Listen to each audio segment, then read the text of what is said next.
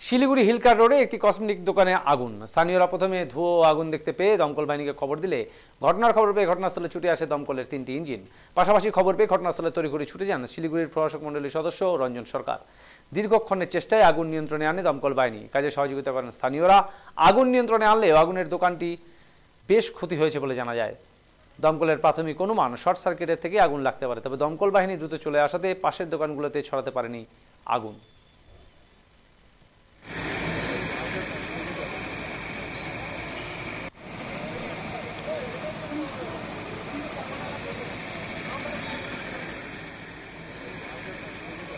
এ প্রসঙ্গে কি জানিয়েছেন স্থানীয় বাসিন্দাদের পাশাপাশি শিলিগুড়ি পুর নিগমের প্রশাসক বোর্ডের সদস্য রঞ্জন সরকার শুনব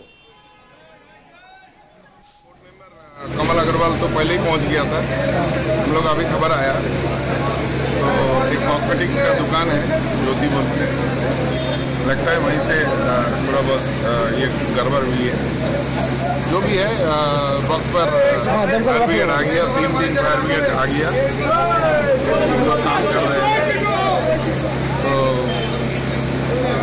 हो जाएँगे, कोई चिंता नहीं है। हम लोग लगे हुए हैं। चाहेंगे जल्द से जल्द सब काम हो जाए। किसी का सभी ना हो, ज़्यादा से ज़्यादा ये हम बाकी सब हम इंक्वायरी के बाद ही हम बोर्ड मेंबर कमल अग्रवाल तो पहले ही गाना अभी ना जाओ छोड़ कर बाबा दादू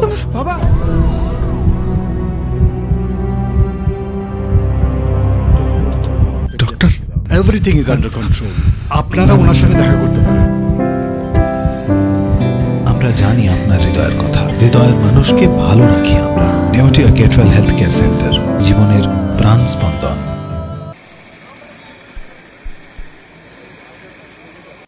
फिफ्टी परसेंट सर्वे खोल दिया है।